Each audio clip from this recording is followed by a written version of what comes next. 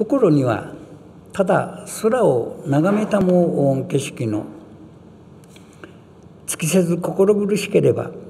核のみおぼし紛れずは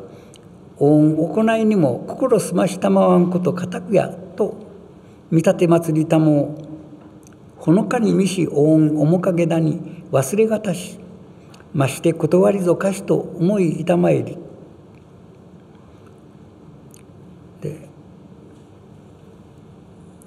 源氏の君は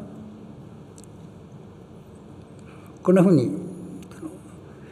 息子への接待なんかことに気を使っていらっしゃるけれどもその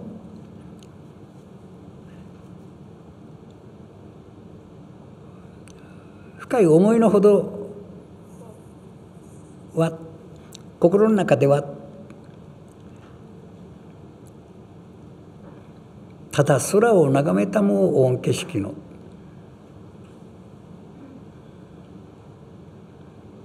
亡き人を思ってただ暴漠と空を眺めていらっしゃるようなそんなご様子が。そばにいる大小のお気持ちとしてもこの上もなく心苦しい気持ちがするからして。なんか自分のためにその女房に果物を持ってこいというふうなことを、まあ、言ってはいるけれども実は、ね、自分と差し向かいでいるこの人この父親が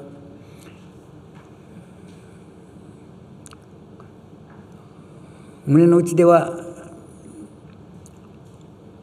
ただ亡き人のことばかり思って空を眺めていらっしゃるようなそんなご様子で心ここにないようなそんなご様子でいらっしゃる。そのことを大小のお気持ちとしても尽きせず心苦しければそばにもいづらいようなそんな気持ちであるからして「核のみおもしおぼしは紛れずはこんなふうに片時もお心が紛れることなくいらっしゃるのでは御行いにも心澄ましたばんこと固くやと見立て祭りたも仏へのお勤めにもその心を本当にお澄ましになって、えー、仏を祈られることというふうなことはおできにならないのではないかとお見申し上げなさってあお見申し上げなさる、つまりそばの大小気持ちとしてもそんなふうにお察しなさるという。この見立て祭り多聞は夕霧がそんなふうに源氏の思いのほどを指していらっしゃる。ほのかに見し御面影だに忘れがたしまして断りぞかしと思い痛まえる。まあ、夕霧の胸の中ではまたここであのちらりと見た野秋の日の垣間見の紫の上の姿。ね。ほのかに見し御面影だに忘れがたし。あの時ちらりと見た紫の上のあの美しい面影すら自分でも忘れることができないでいる。まして源氏の君のお心ではもっともなことだと思っていらっしゃる。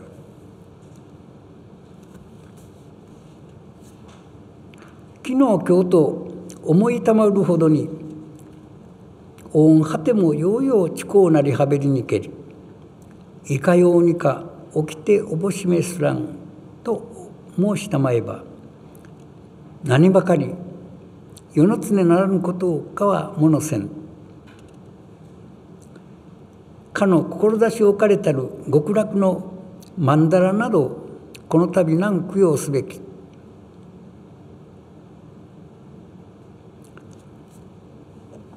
今日などもあまたありけるを何がしそうず皆その心詳しき詳しく聞き置きたればまた加えてすべきことどももかの想図の言わんに従いて何ものすべきなどのたもう。まあ、ここではその夕霧が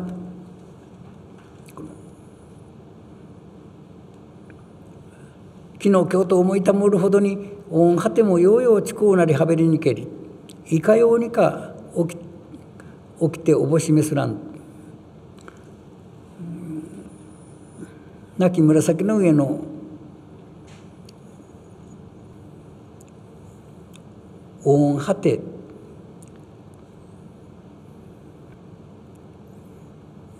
亡くなった後の貴福の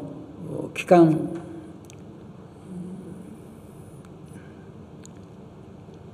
まあ、通例は四十九日七四十九日。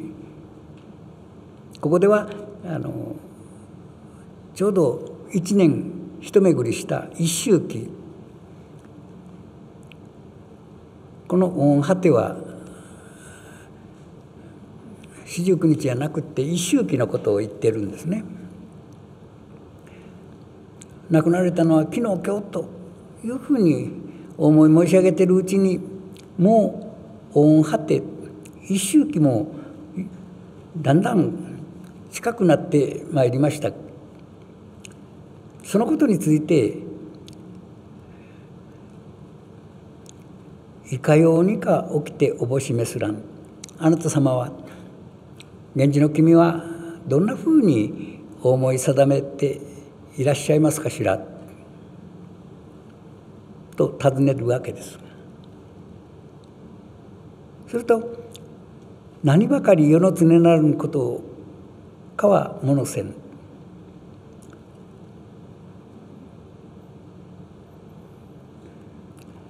世の常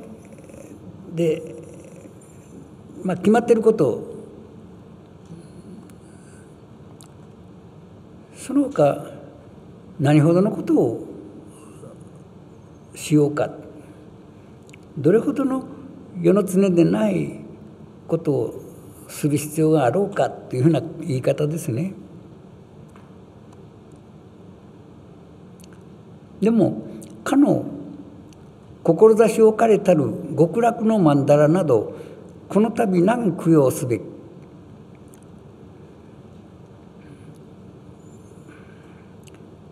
まあここで突然出てくるわけですけどもあの紫の上が生前発願して作っておかれたがんを立てて作っておかれたその極楽の曼荼羅など。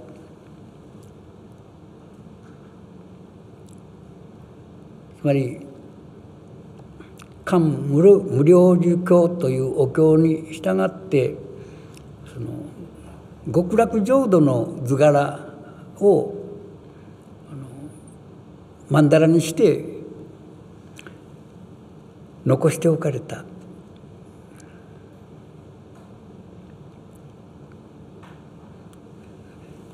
いわゆるあの地獄極楽変装図とか浄土曼荼羅とかいうふうなああいう図柄ですね。それをこの度供養すべきだろ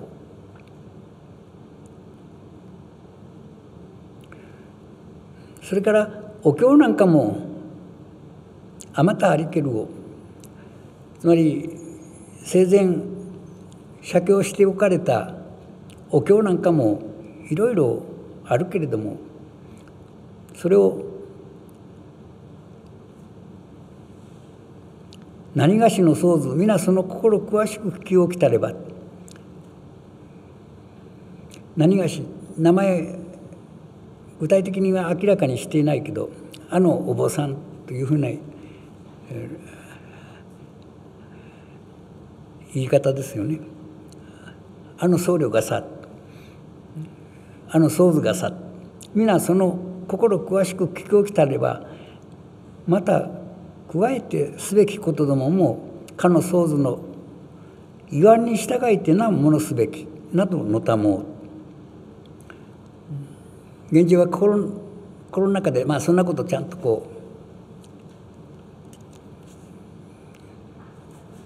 考えている。計画はちゃんと持っているわけなんですね。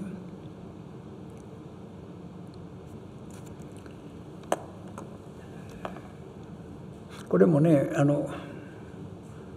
私には特別の心に残っていることがありましてね。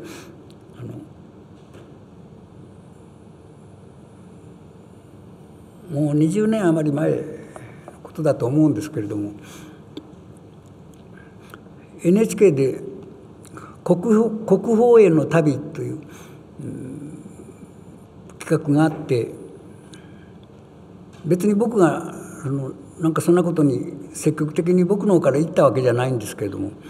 NHK の方から頼みに来てその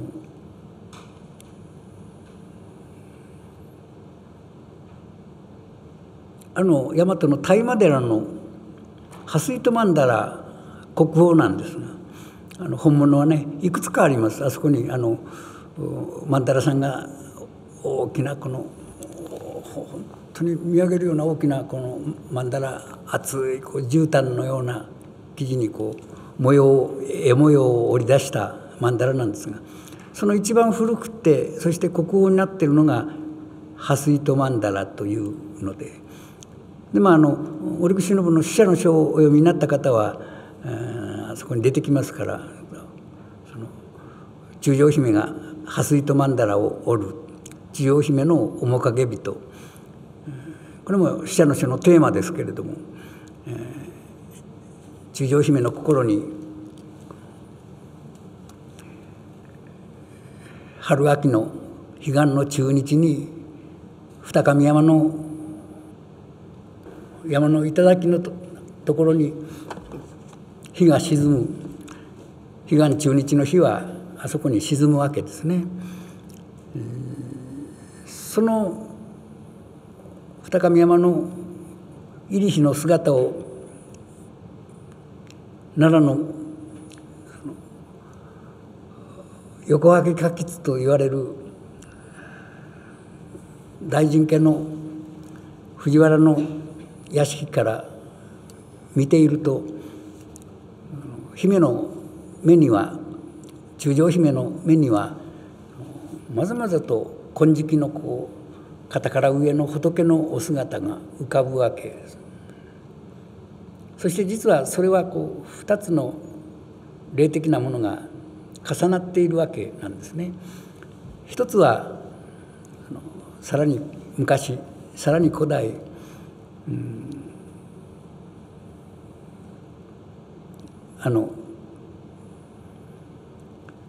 天武との天皇が亡くなった直後謀反の志を持っているということで、えー、実はその父の天武天皇が亡くなった直後に、うん、大津の巫女はお姉さんの多くの王女が伊勢の西宮になっている。その伊勢を訪れるわけです。そして、えーまあ、伊勢神宮に当然祈願したわけでしょう。そして天武天皇亡き直後の都へ帰ってこようとするそうするとお姉さんの多くの王女が「二人言うけど行き過ぎがたき秋山をいかにか君が一人こゆらん」という歌を読むわけですね。万葉集の中に残っている非常に哀切な歌です。この兄弟は世に発行な兄弟で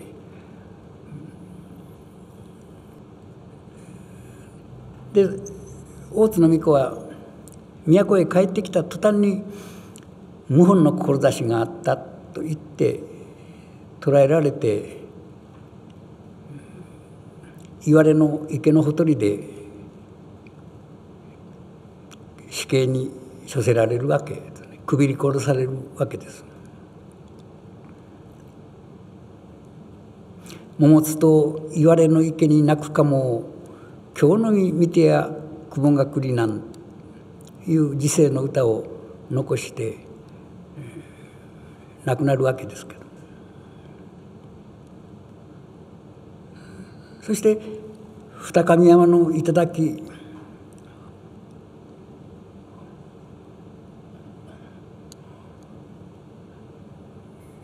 に、まあ、葬られるわけですね。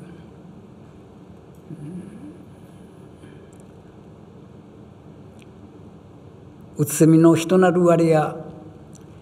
明日よりは二上山を色せとあがみん。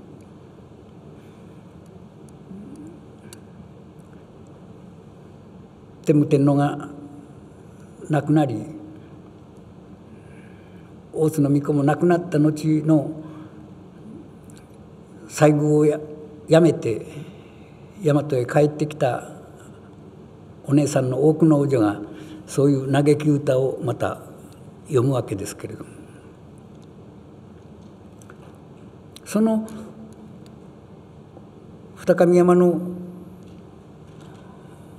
山の頂のところに小岳目岳の境の辺りに春の彼岸秋の彼岸に姿を現す金色の非常に尊い仏の姿にかようお姿。それは先の世にそういう悲劇的な形で世を去っていかざるを得なかった大津の巫女の魂が引き寄せているようにも感じられるしそれから新しく日本に入ってきて日本人の心を鎮めている仏様の姿により多く十条姫の目には見えるわけですね。である年の彼岸の中日の日に藤原の南家の屋敷をまるでこう魂を誘い出されるようにして一人逃れ出た中将姫はこの大麻寺の夜の明け方の境内に踏み入っているわけです。でお坊さんたちが一体どこから来られたのだ？どこの姫君だ？っていうふうに問うわけです。そしてだんだんとこう素性が分かっていく。藤原南家のお姫様だということが分かっていくわけです。ただ結界を犯した女人が結界を犯したわけですからすぐには解放してはくれない。寺の中のある暗室に留め置かれるわけですね。そういうところからこのまた姫と二上山の頂に宿る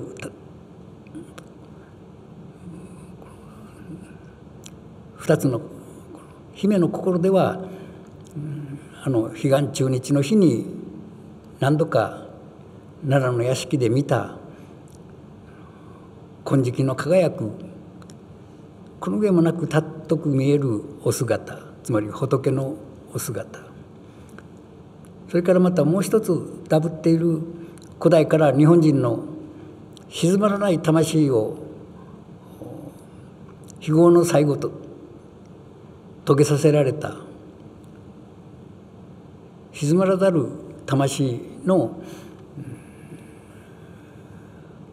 怨念のいざない。いうふうなものとが実は重なっている。しかし姫はそれを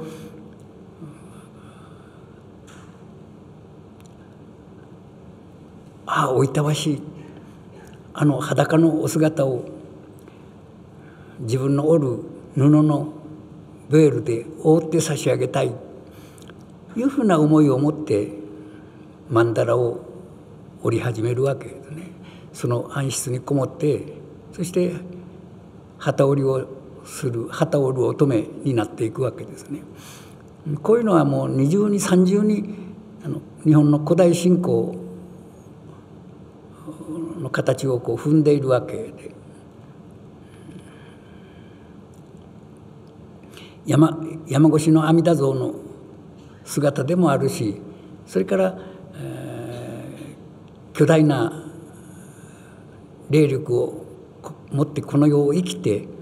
そして非業の最後を遂げさせられてほとんど永劫に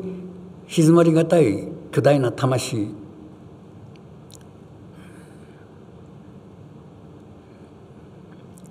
そういうのがこうダブっているなんかこう日本民族の宗教的な考え方の一番こう根源のところにある魂の姿みたいなものなんですね。それとこうつまり仏の姿とがダブっているところがいかにもあの折口の日本人の宗教ってものを考えてたあの人の作品らしいところだからあの小説は非常にあの小説としては実は不幸な面も持ってるわけあまりにその日本民族の持つべき霊魂感みたいなものをまざまざとこう表現しているから小説というよりもなんか言ってみれば見事な宗教がね絵が絵の形で表現した日本人の民族信仰のエッセンスみたいなものがあの我々の心に響いてくるような感じを与える。いや僕だってその一遍や二遍読んだだけでそんなこと分かったわけではありませんですよ。何度も何度も読んでいて、うん、そしてこれは何だろうどう考えるべきかと思いながら、えー、実はある小説が出て、なかなかの批評が評論が出なかったんです。折口はそのことを非常に悔しがってこれだけあの自分が信仰尽くして書いたものに対して日本の評論家たちが全然口を閉ざして評論しないっていうのは何事だと思ってたわけ。まあ、一番最初に書いたのが山本健吉さんで「美しき鎮魂歌」という評論を書いた。それからもう少し明るい面から坂本徳松さんというあんまり世間に知られていない人ですけれども割合に誠実な評論家が、まあ、一つあのもう少し明るく見た死者の人の評論を書いたわけですがそれから戦後になって河村二郎さんがヨーロッパの文学なんかと多少比較しながらヨーロッパにはそれでも数少ないヨーロッパにも数少ない小説だけれどもこういう小説がある。日本には今まで絶務と言うべき小説を書いたんだというふうにして評論を書いたわけですが、まあ、そこら辺から割合にあの死者の書が、うん、よく読まれるようになったんですけれどもそれである時そのそんなふうに先生が亡くなってからもう20年ぐらい経ってからです。僕にその国国宝への旅であのハスイトマンダラあの死者の書の中にも出てくるその国宝ハスイトマンダラを見てその、まあ、解説でも何でもいいからあのマンダラの前で何とかおっしゃってくださいとただ一つあのぜひとお願いしたいのはあの和服で羽織袴でおいでくださいとまあ僕が割合に、折り目切り目にあの羽織袴つけること知ってるからでしょうけれど。もそれでまあ大和の大麻寺大麻寺は織木先生とも一緒に泊まったことがあるし何遍もそれからも行ってますから大麻寺行ってそして、まあ、京都大学の美学の教授が大学院生を3人か4人助手に連れてきて大きいなもんですからねその持ち出すのもそれから巻いたり収めたりするのも何人かこうかかってこう気持ちを合わせてこう巻いていかないといびつに巻いたらまたこう解きほぐして巻き直さなきゃならない。それは非常に簡単なようですけれども難しいんです。そのことにまあ慣れてるっていうか多少とも体験のあるそういう大学院の美学専門のそういうことを心得てる学生たちでないと役に立たないわけですけどで行ったのがちょうどその頼まれたのが、ね、梅雨時なんです。でその美学の先生も大学院生たちもねこんな時にあの国宝破水と曼荼羅を広げるのは反対だっていうことを言ってねだいぶあの NHK と交渉してましたけれども。まああのせっかく機材も全部準備してもう予定のあれはちょっと動かせないというふうなことでそういうあんまりいい季節でない季節でしたけれども。梅雨時。でも僕はそのまた梅雨時のこうちょっとしっとりとしたカンカンとこう太陽が照っているそういう日でない少し雲の厚く広がっているようなそういう光の中であの曼荼羅を、まあ、拝ませてもらったというのがかえってよかったかなという感じが後でするわけですけれども。でこんな巻いたらこんなふうにぐらいの大きさになるんですよ。そしてあのいくつも4本か5本ぐらいその曼荼羅があるわけですその中でその国語になってる「蓮糸曼荼羅」はそれは一番古くてもちろん一つ一番古いものなんですそれをあのあそこの宿坊の一番大きな宿坊のところへこう運んできてそして大日のまでこう広げたわけです。から初め一つこれだっていうあのお坊さんがあそこのお坊さんたちがあのこれが「蓮池曼荼羅だ」というからその運んできたんですね。その、えー、NHK のスタッフやそれからその大学院の美学の人たちがそしてこう広げて見たら「いやこれは違うよ」もう少し後の、うん、ね分岐曼荼羅って分岐年間の曼荼羅だっていうことが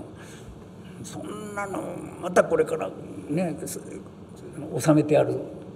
倉庫へ行ってそしてまた選び直して、うん、本物持ってこなきゃなんないわけです。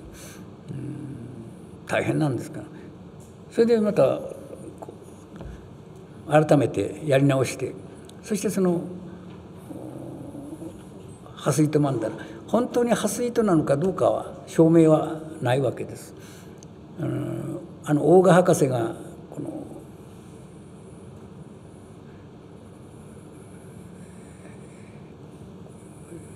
の収めてある箱のねあのこうどうしたってこうくずがくず糸がこうたまるわけです少し。そのくず糸を取ってきてその顕微鏡で一生懸命見たんだけれども、うん、蓮糸だという証明は出なかった。しかしまあ大川博士のあんな人ですからいや僕の調べた僕の目には蓮糸は見えなかったけれどもしかしあれだけの大きな曼荼羅なんだから一番その中心の大事な部分なんかはひょっとしたら蓮糸で折ってあるのかもしれん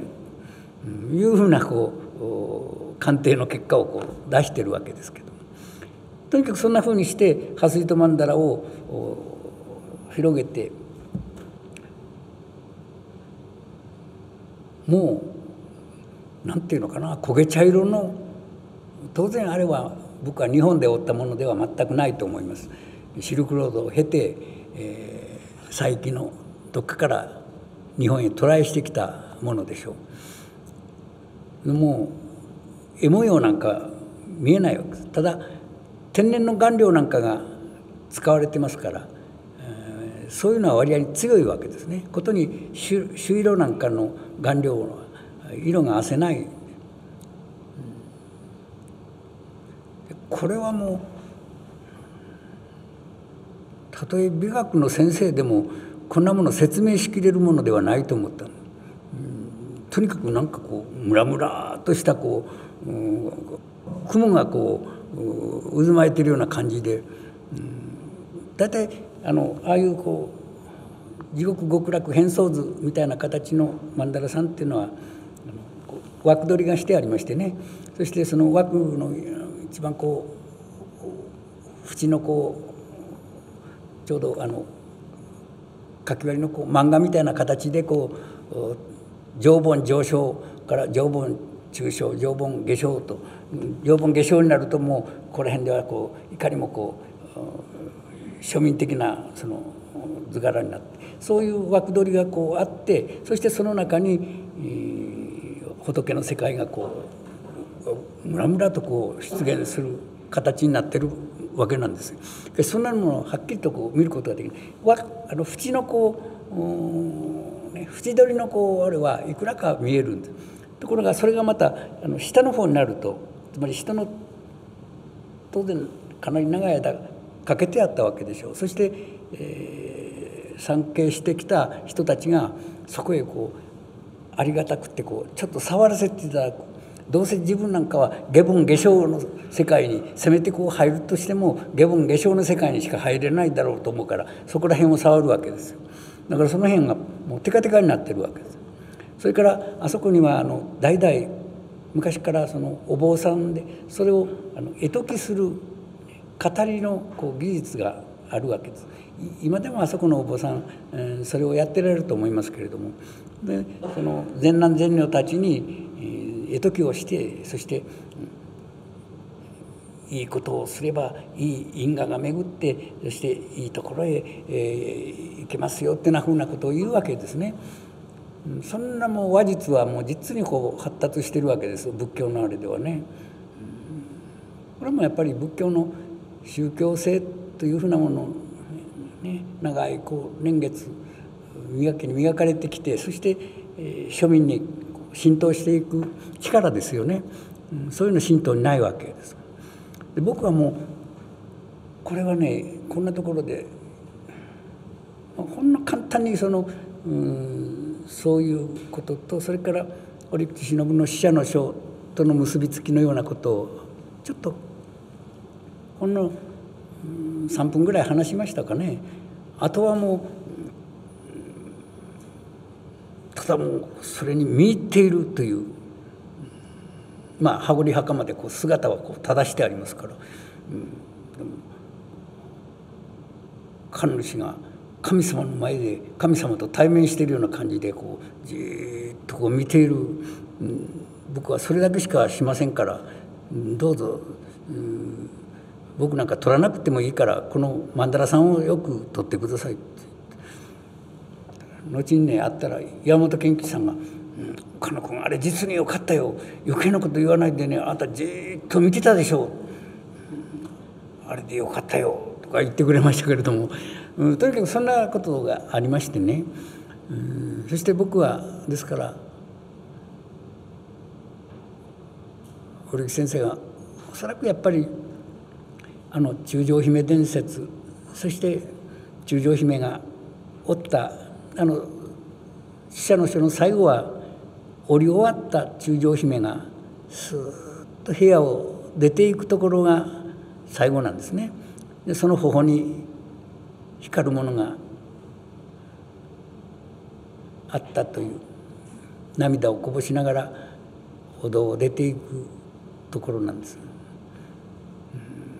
そこのところなんかこう思い浮かべながらこうじっと曼荼羅さんと、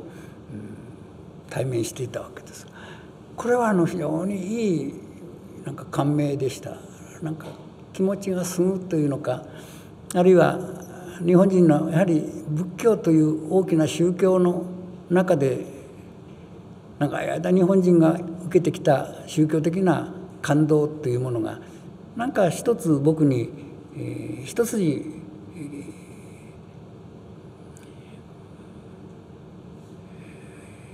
ー、なんか今までない形で心に届いてきた感じがして、え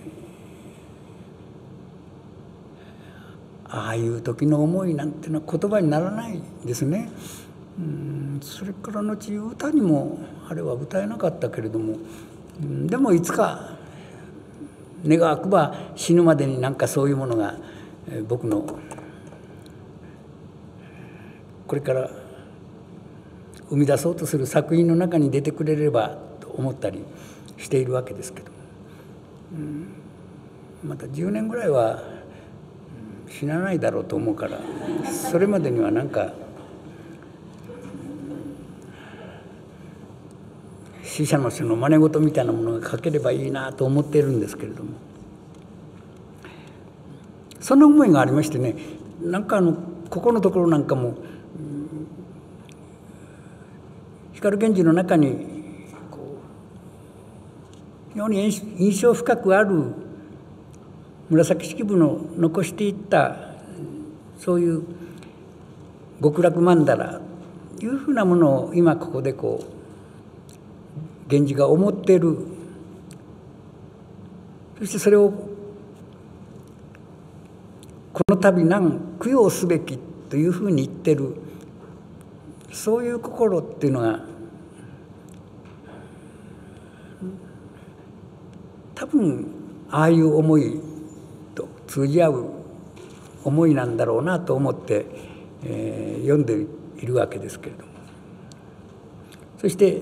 今日などもあまたありけるを写経しておいたものがいく種類も残っているけれどもそんなことは何がしの想像皆その心詳しく聞き起きたれば聞き起きたなればまた加えてすべきことどももかの想像の言わんに従えて何ものすべきなどのたもいうふうに言ってるこういう言葉をまあ、紫式部さんが言わせているわけですけれどもよくわかりますね。でそれを聞いて夕霧が「かようのこと元より取り立てておぼしを切ってけるわ。後ろ安き技なれどこの世にはかりそめの大ちぎりなりけりと見たもうには形見というばかりとどめき聞こえたまえる人だに物したまわんこそ口をしゅうはべりけれ」と申したまえばそれはかりそめならず命長き人々にもさようなることの大方少なかりきる自らの口をしさこそそこにこそは角は広げたまわめなどのたまを。でこういうこともとより取り立てておぼしを引けるわ。もともと以前から取り立ててお思い定めておきになったことは後ろ安き技なれど。これはその紫の上の五世を弔うためにはお心安らかになるはずのことでございましょうけれど。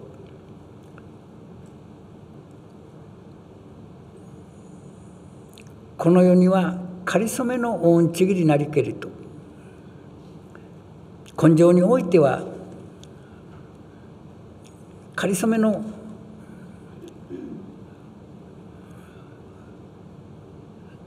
そんなに深い縁とも言えない恩ちぎりであったことだと見たもにはこのままいくと源氏がそうお考え遊ばなさるのはというふうに取れますけれどもどうもそう取ると、ね、源氏自身がその紫の上のの間柄のことをこの世にはかりそめのちぎりであったというふうにお考えなさるのはというふうにとってはちょっとなんか夕霧の言葉なんですから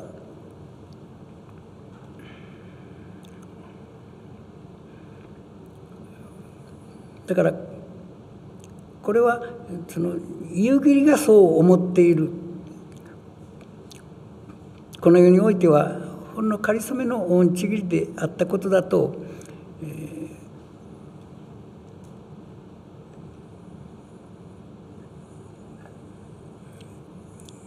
見たまうる見たまうじゃなくて見たまうる謙譲語にして夕霧の方からそう思っている。そうお見申し上げるいうことはせめて形見というばかりの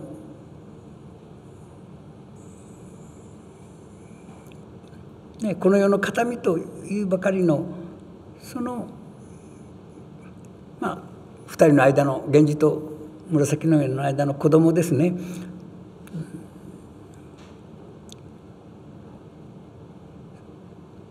そのお子としてこのようにとどめをきたまえる人だに物したまわぬこそ実の子供としての人をこの世にお残し、えー、なさらぬお産みにならなかったそのことこそ残念に思われることでございます。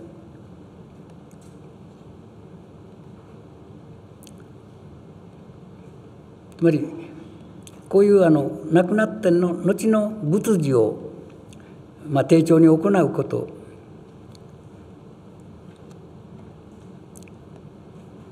それを紫の上が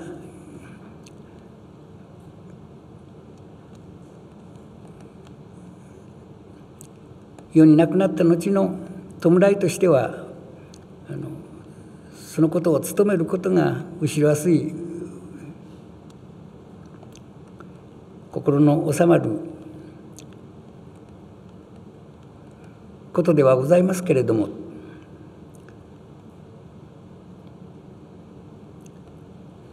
この世にはかりそめの恩ちぎりで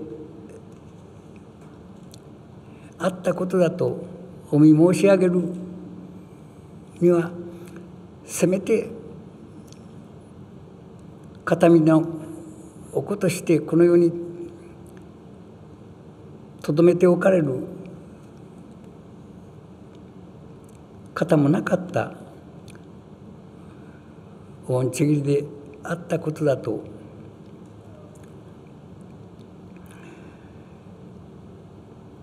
お見申し上げる見つけても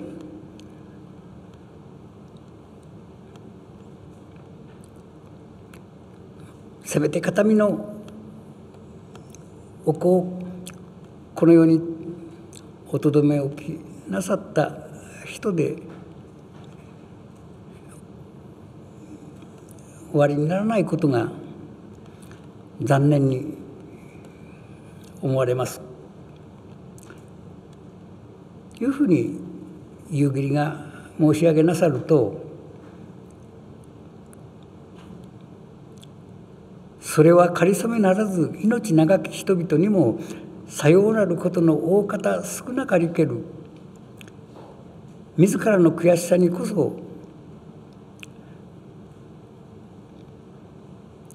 つまりこの世の縁が深くってかりそめならぬ長い命をこの世で生きた人々もそのようなことは大方少なくって亡くなってしまわれたことが自らの悔しさにこそ私自身のこの源氏の俺自身の残念さにもなっている。そこにこそは角は広げたまわめ。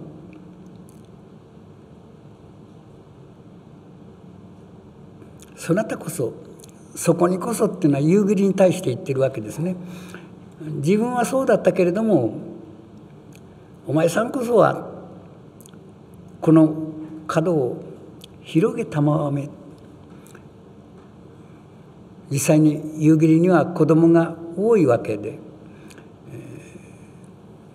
子供を多く残してこの我が家の角を広げておくれよな広くしておくれよななどと源氏の君はおっしゃる。これはまあそうですね。源氏には子供が本当に少ないわけであれだけの多くの女性を愛したにしては子供は少なかった。そのことが、まあ、源氏の生涯の中では一つの寂しさにもなっているわけですが。しかしとにかく夕霧がこうして今もそばにいる。そしてその夕霧のところには子どもたちがたくさん生まれている。それからまあ娘分。いうふうな女性もいるわけです。そこにこそは角は広げたまわめというのはまあ夕霧の一門に対するあるこう期待の言葉でもあるわけですが。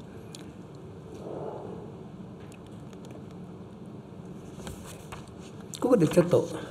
休むことにいたしましょうか。